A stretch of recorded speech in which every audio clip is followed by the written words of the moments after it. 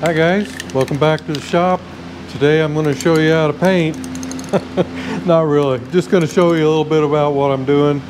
And uh, uh, it's, I know this is not a, a uh, very exciting project, but it's something that we all do. We want to make the stuff look good. So I'm going to go through just how I mask this stuff off and what I use to paint it with. And uh, then I'm going to get into some plating. But we, we all have to do this stuff. It's part of the game.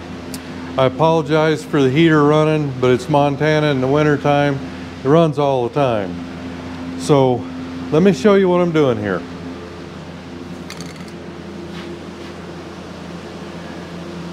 Okay, I've got my uh, cylinder here pretty well taped off. I just want to show you, you know, you don't have to sit there with a, uh, a razor blade and cut all this stuff. If you just take a hammer and just lightly tap around these edges, and lightly is the key word here.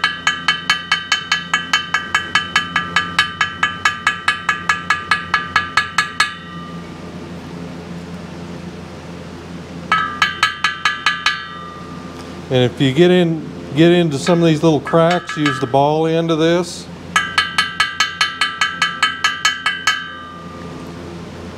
But it just pretty well comes right off. So that's an easy way, but there again, lightly do it. Now, I've taped up all the all the holes, put a screw in here where the oil injection line goes. That'll get plugged on this one. Uh, and I sandblasted this the best I could. And it's it takes a while because you've got to get down into all the fins and everything. Yeah, there's a little bit left. I'm not too worried about it. But, you know, just plug what you can. Uh, just use your imagination. Now what I'm using is uh, Rust-Oleum and it's ultra high heat. This particular one is what they call extra rich color. It's a semi-gloss.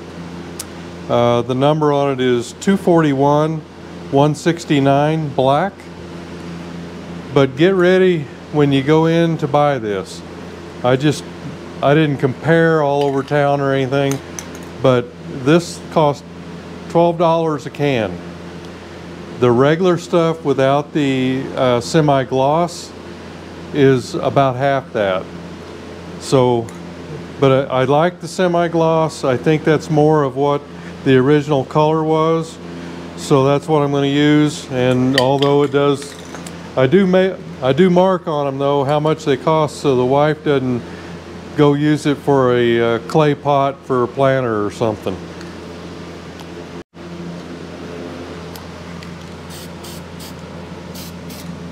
I always kind of try to do the really hard part first, if I can. You know, this kind of a slow process because you've got to you got to paint and then you stop and let it dry and then you move it and so on and so forth. But you got to get up on both sides of those fans and and down in where the jug is.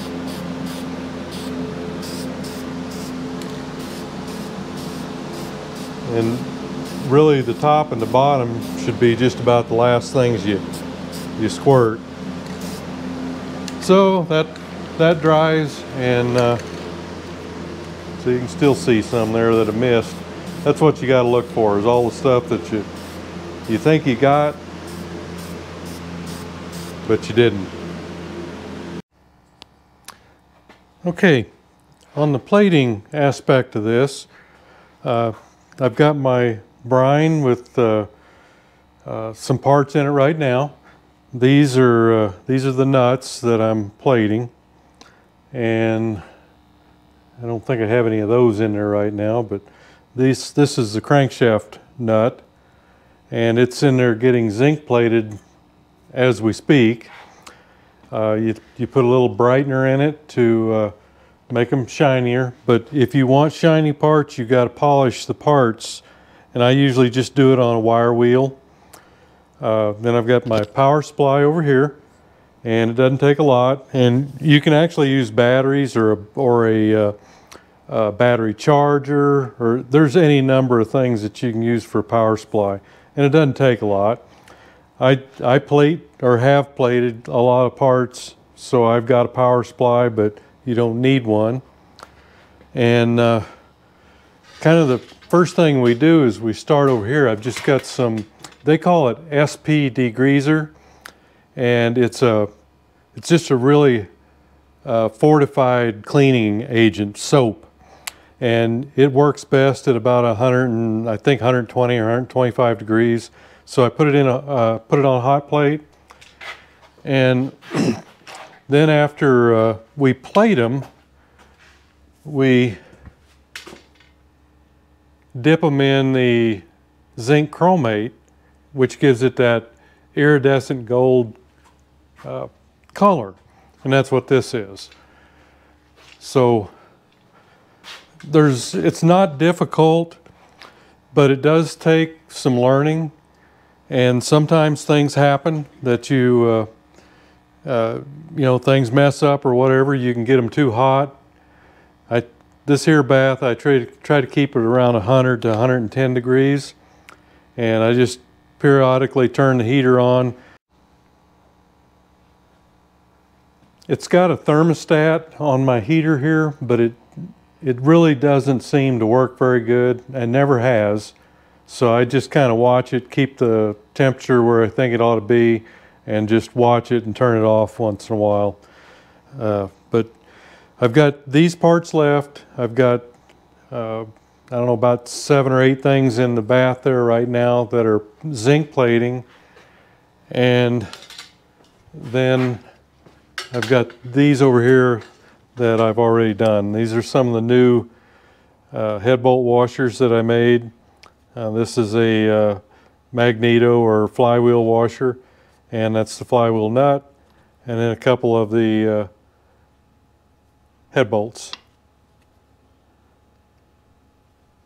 And you know, I don't think that the head bolts or the, or the washers really had that coating on it, but I just kind of like it and it gives it another layer of corrosion preventative by having the zinc chromate on it. So I go ahead and put it on. For the type of parts that I'm doing, it takes about 40 minutes in this bath here to give it the zinc. And it's really only when I go to, to dip it into the zinc chromate, it, you just kind of dip it however to the color that you want. You know, if you want a light color, it doesn't take very long, maybe a minute. If you want a little bit darker, like my stuff, I, I probably have them in there for two minutes. And uh, it's just it's just a thing, you know, it's by eye and by choice. And this stuff, um, let's see, I think I got some head bolts in here. Yep, see here's, here's uh, what it's doing right now. And you can use it this way, or you can put the zinc or the, uh, the chromate on it. And the chromates are in different colors too, but the ones that we're most uh, uh, familiar with are the yellow. And that's, you know, you go to the hardware store and a lot of the bolts have that yellow iridescent coating. Okay, I'm going to pull, uh, this stuff's ready to come out. And uh, let me see here. First thing you need to do is kind of rinse it. I use distilled water. And a spray bottle there. And then we'll go over here to the uh, you can kind of see what it looks like and then I'll start just rolling it around in here it doesn't do a whole lot at first, you know, just kind of on there. It's not soaked in yet. It, you've got to zinc plate it first. That's how you get it, um, that's what it attaches to. You've got to have the zinc on it in order to uh, be able to do the the chromate finish. okay, then you you spray it off with the uh, distilled water again, and then you just you can kind of dry it, and you can see those hues starting to come in the the red and the green.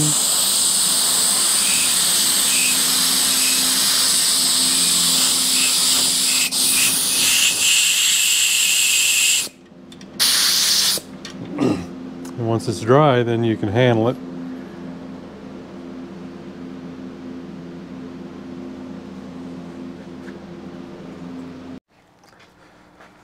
And we're putting some more stuff on. This this wire is actually copper wire. That's what it needs to be. It can't be steel, but it's it takes on some of the uh, uh, the coating itself, so it doesn't look like copper anymore. But we're loading it back up, and you, can kind of get creative with some things, so you can get more on one wire like with the uh, washers here.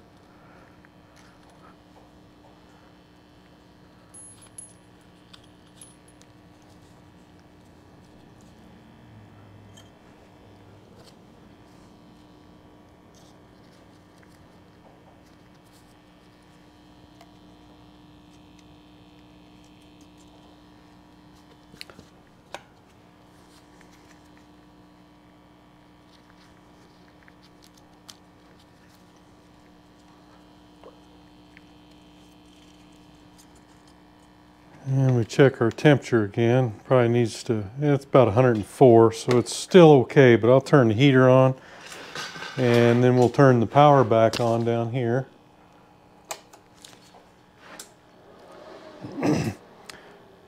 and I've got what I what I like for small parts like this. I've just got it written up here, 2-3 on my current and the voltage at 0.5.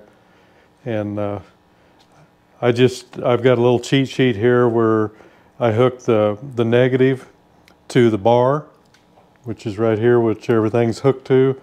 And positive goes to the anodes. That's this right here. And I've got four of them in there, so they're all hooked in uh, series there. So we'll let them go for about another 40 minutes.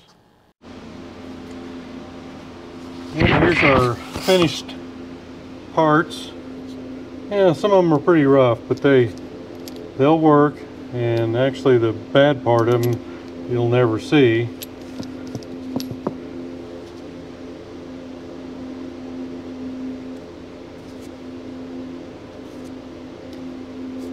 And these here, this is the uh, countershaft sprocket. I got two of those. I did an extra one, and the lock and the wire loom bracket. So hopefully I've got everything done that I need done. Okay guys, I've got a, I actually do have a carburetor for the uh, MX that I'm working on that I need to clean also, but I've got another one that I'm cleaning right now. Uh, and a lot of people uh, think that they've got to fill their ultrasonic cleaner completely up with carburetor cleaner and that's not the not the uh, case at all. What I do is I get a paint uh, measuring cup like this. You can get it from your paint store or the hardware store. And I just take find one that'll fit in. This here is really good for this one. Fits right in there. And you then just uh, fill it up with your carburetor cleaner. I like to kind of strain it. I don't want to introduce any other problems into it. These paint cups that I've got here are uh, pretty much chemical uh, you're just not going to have any trouble with it. They, they resist the chemicals. This one's kind of going down there a little deep, so it wants to spread out But just uh, go ahead and put your lid on it. And what I do is I, I clean it up real good on the outside and I tape it because these are not the best uh, lids and they will leak a little bit. So I put a little electrical tape on it.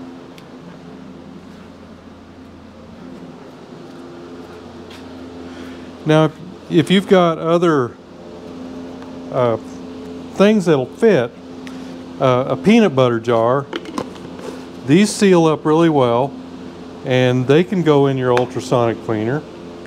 And this is a bigger paint uh, cup, measuring cup from the hardware store.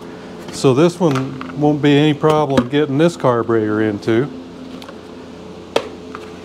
But for now, this is what I'm going to do. I've got my uh, ultrasonic cleaner heating up. And I'm probably not going to be able to get this tape with my gloves on. Yeah, I did.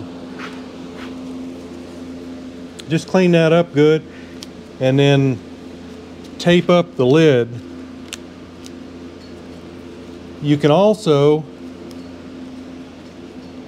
if you've got room and the item that you're putting in there isn't heavy enough to weight it down to the to the bottom then you can put like a piece of steel or something in the bottom of it to hold it down. But this should do it, uh, you know, to a certain point. And I just go ahead and flip it over like this with some tape also.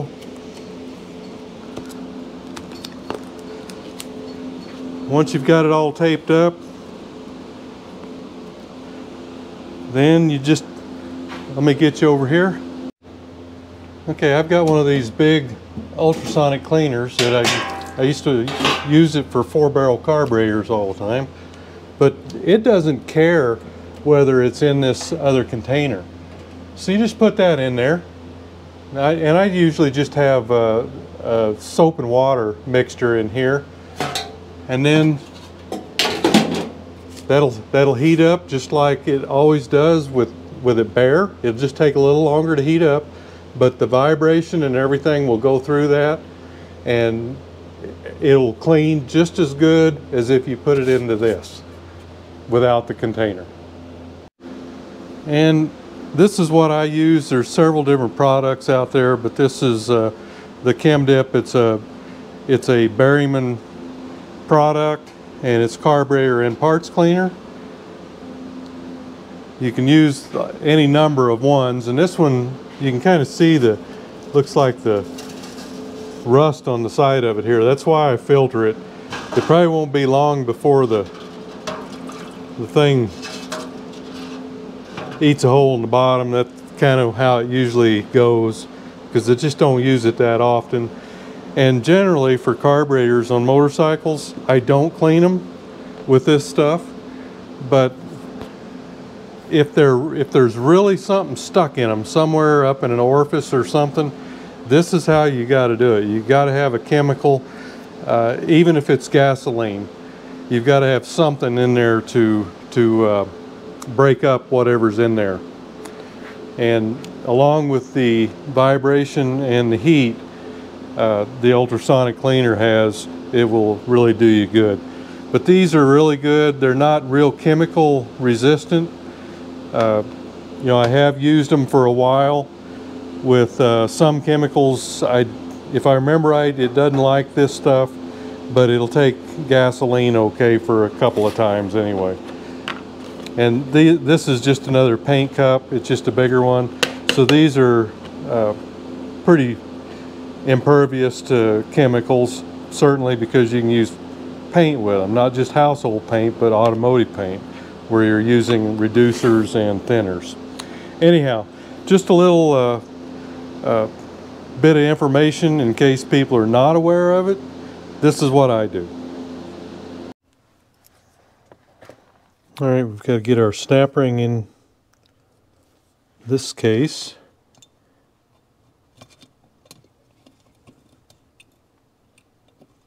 And again, we've got an oil hole in here. I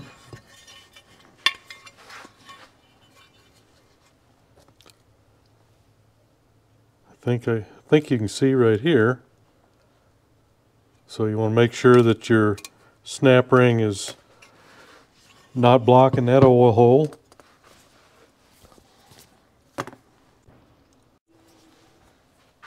Okay, got one more here I can put in. And I don't have any holes there that I need to worry about. Okay. And this one will go in after the bearing goes in.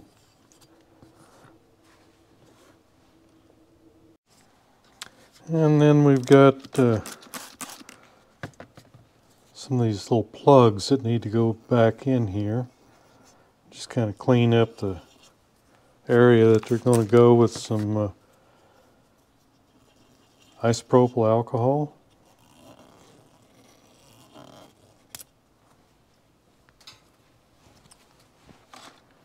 And then we'll let that dry a minute and then we'll put the uh, adhesive in. Okay, again I'm just going to use a little black RTV and again it's kind of sparingly. Don't need a lot.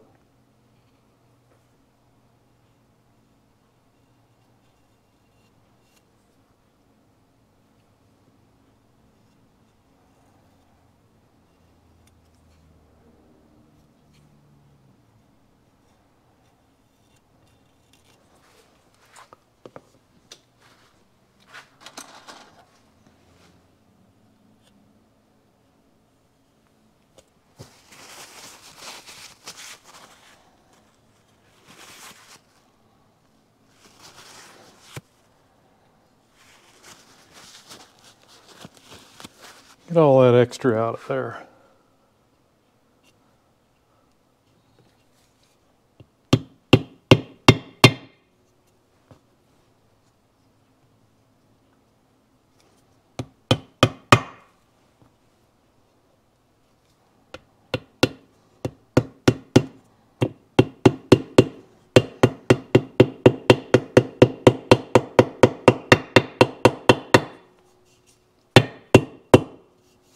All right.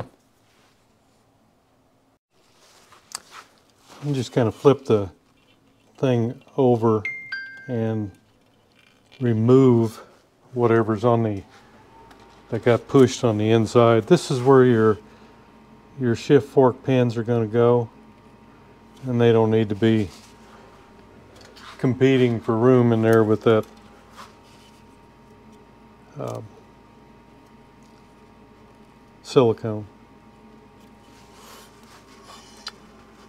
And same with uh, same with this one.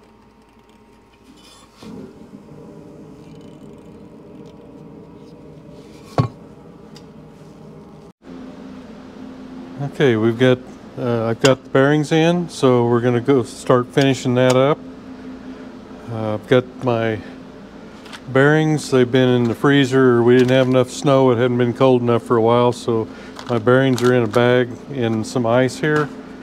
And I'm going to go ahead and heat this up to about 200 degrees.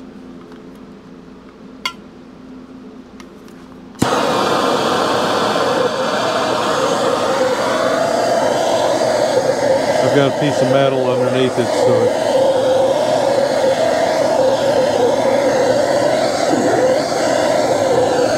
try to stay away from my seal over there.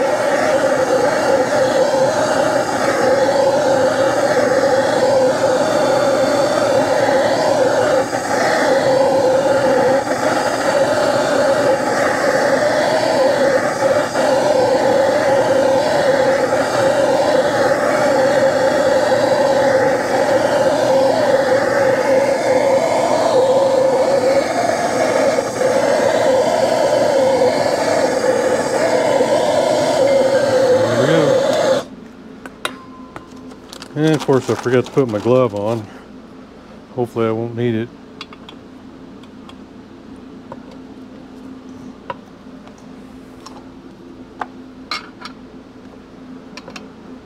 That one, not one to go. Like I said, the there's a big difference between 13 below zero outside and the freezer that you have in the house that's probably at uh, you know 20 degrees or something like that. So, but anyway, I got it in. I just had to keep tapping at it instead and back it up with a with a block. And uh, I'm going to back this one up too. I I'm going to try to heat that because I it just it's just better if it goes in a little easier. So I'm going to try to heat this. Now another thing that you may have noticed too is this one had been repaired with a sleeve. Uh, evidently it, the bearing was loose at some time so they uh, they put a sleeve in there which it's a good repair. There's no cracks or anything that I can see. So that's what they did and uh, now we're going to see if we can get uh, this one in here and I'm going to go ahead and heat that one up.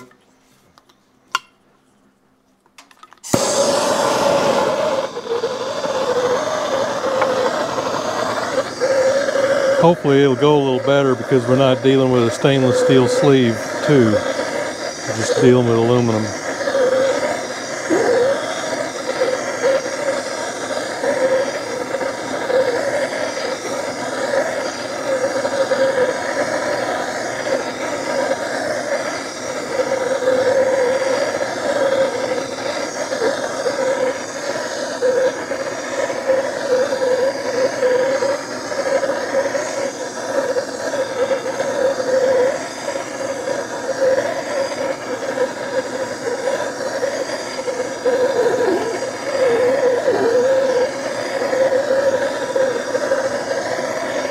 Okay.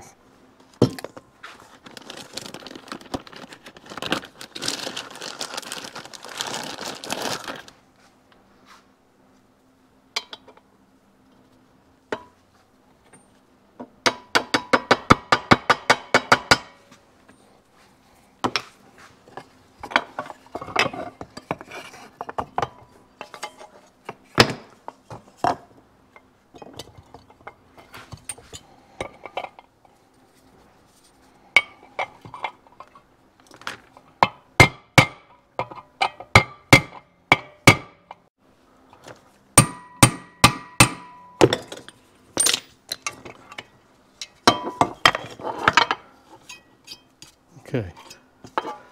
Up against the clip on that one. Yeah, those not going in there as easy as the uh, mains did when I had those setting out in 13 below zero. It's a big difference. Okay, we should be done with this case.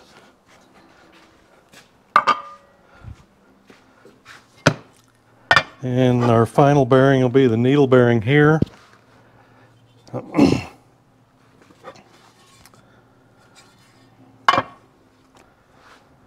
And I'm gonna go ahead and heat that one up a little too.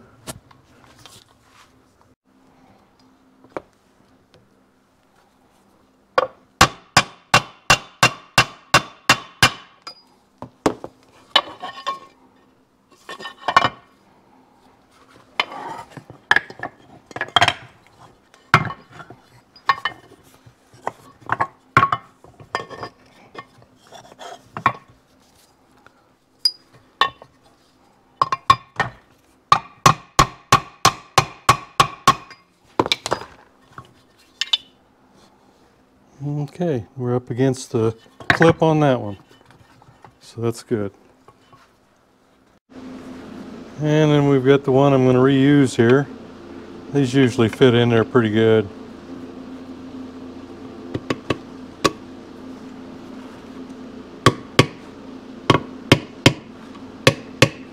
Okay.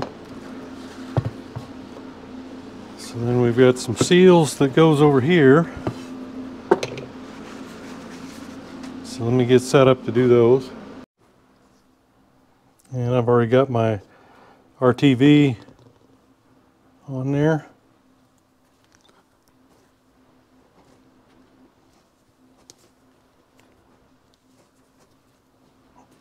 Okay, should be good.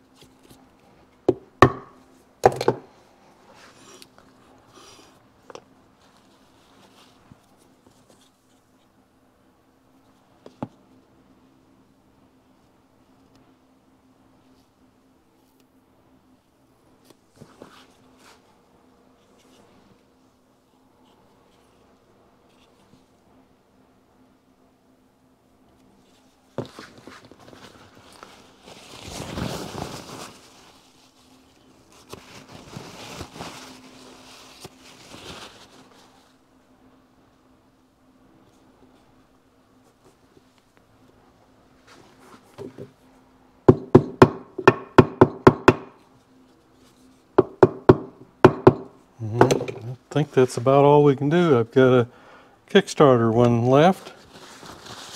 We'll get to some point. Okay, I'll just well get it in.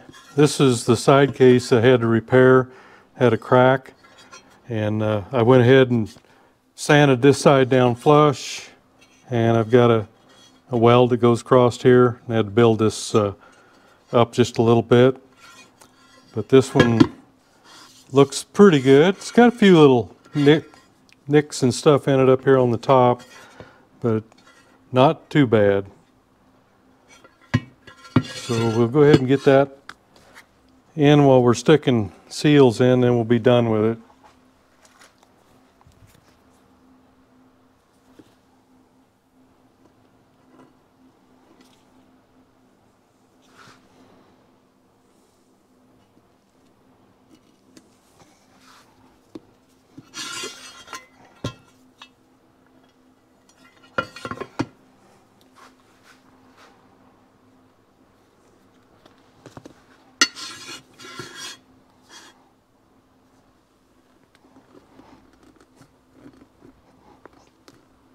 All right.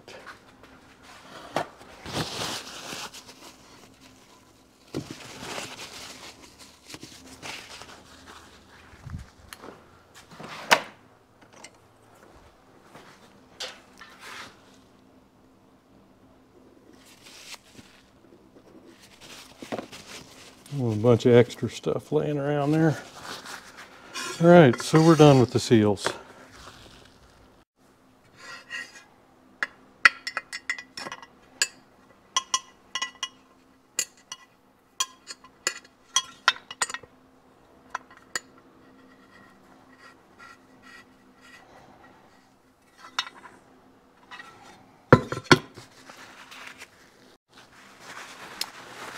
Okay, let's see if we can get the crankshaft in and give it a little, this bearing a little shot of uh,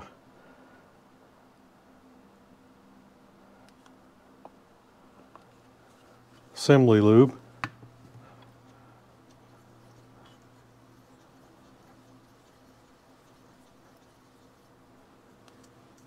Okay. and a little bit of oil on the real thin oil here on the bearing and seal journal.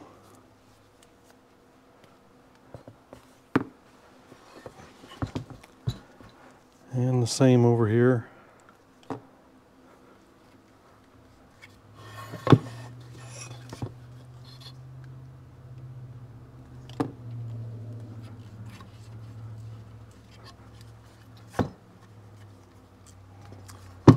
All right.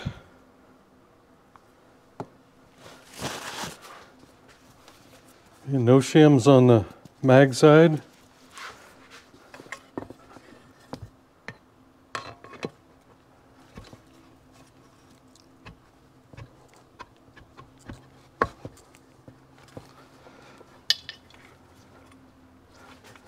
All right. We get hooked up here.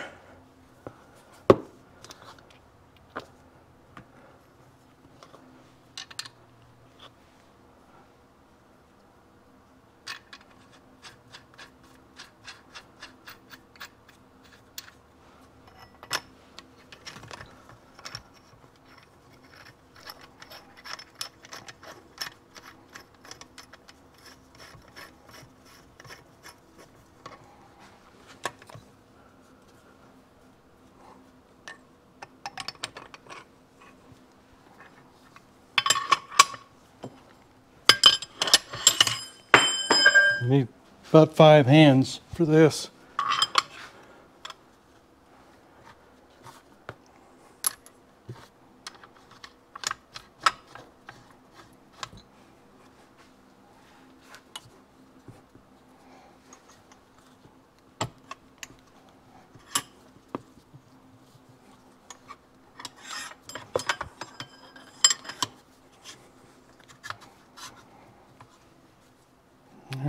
See if I can find a wrench for that.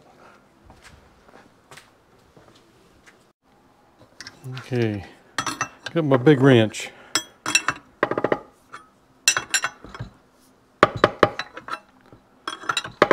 Starting to pull into the bearing.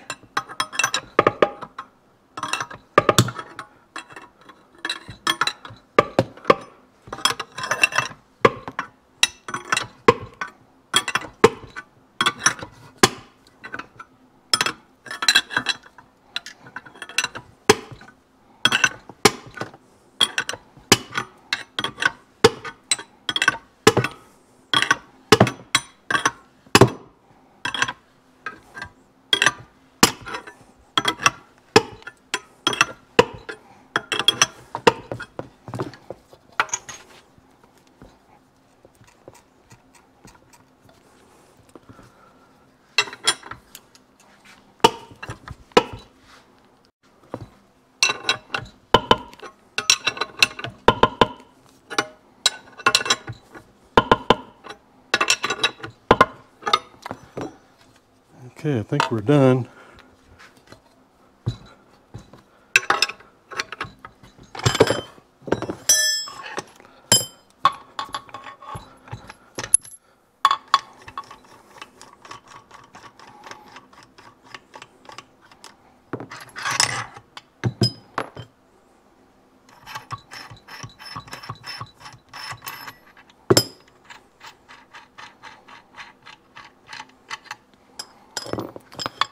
Okay.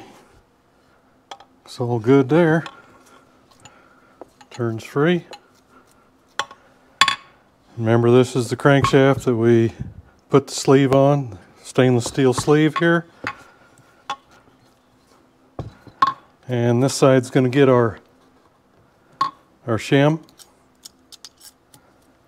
That was the only purpose of that shim is to make this width of this uh, assembly 62 millimeters. That's the only reason for that shim. And it brought us out to uh, like four thousandths uh, under 62 millimeter. And as you remember, they say that the uh, uh, six, you know, you can have 62 millimeters and I think it was 0.05 millimeter under but nothing over. So this put us just below 62. Okay, I think that's about as far as I'm going to go today. And uh, we can get started loading the transmission or at least checking over the transmission. I've got, I've got to go through everything. I think everything's okay, but I just want to go through and uh, check every specification and uh, make sure. So at this point, we've got it kind of started back together. Okay guys, there you have it. We've got kind of got it started on the assembly. We went through a little bit of the uh, plating and some carburation cleaning. Uh, just a technique that I thought, you know, maybe some, not, not everybody would know. I'm sure a lot of you do it. It's just a way to, so that you can keep soap and water or whatever you use in your in your large ultrasonic cleaner and you can still use uh, gasoline or carburetor cleaner or whatever. And it works pretty good. Just if you're using those little paint cups make sure you tape them up. Otherwise you'll probably get water leaking into them uh, you don't have to worry about anything leaking out of them but uh, the water will leak in if you don't get those sealed good. So hey, thanks for going along on the ride, and we'll see you next video.